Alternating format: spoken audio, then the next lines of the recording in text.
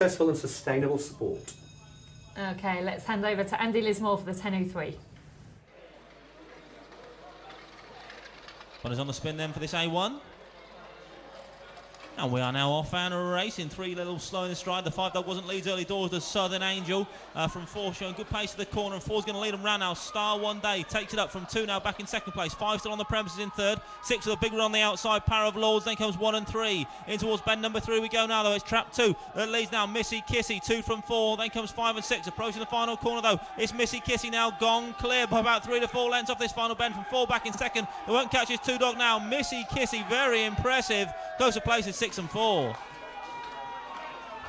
Nicola's doing a little dance because Missy Kissy has won, and uh, that was very nicely tipped up by you. I bet you wish you'd napped it now. Oh, six took a pearler there going to the pickup. Uh, hopefully, uh, hopefully uh, Power Lodge is okay. There, There good to go. see. Oh, wow. Wagging his tail.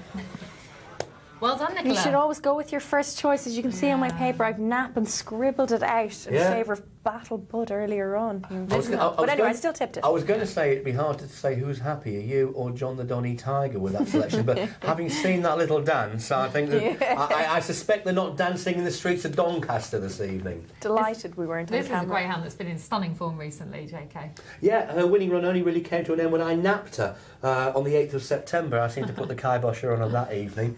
Um, but uh, this is great to see because she's such a, a versatile greyhound, very strong, but has enough early pace to get handy. But I mean, were you ever? Did you ever have a moment's doubt that she was going to win? Never. No.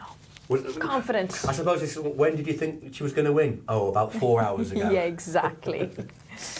ah, good going. Winning comfortably by four or five lengths in the end, I think it looked Yeah. like.